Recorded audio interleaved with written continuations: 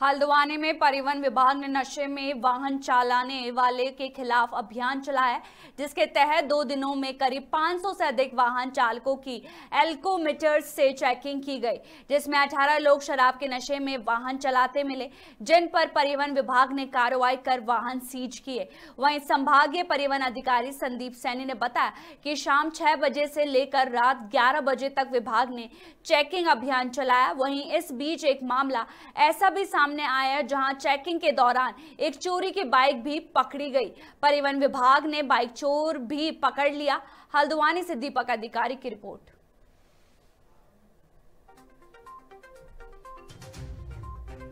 हमारे तरफ़ से दो दिन का स्पेशल अभियान चलाया गया था, जिसमें हमने सात टीमें लगाई थी। सात टीमों ने लगभग दो दिन में 500 से ऊपर गाड़ियों का ड्राइवर का जो है एल्कोमीटर से चेक किया और 18 वाहन चालकों को शराब के नशे में पाया जिसमें उनको पुलिस के सपुर्द करते हुए 18 गाड़ियाँ जो है सीज़ की गई।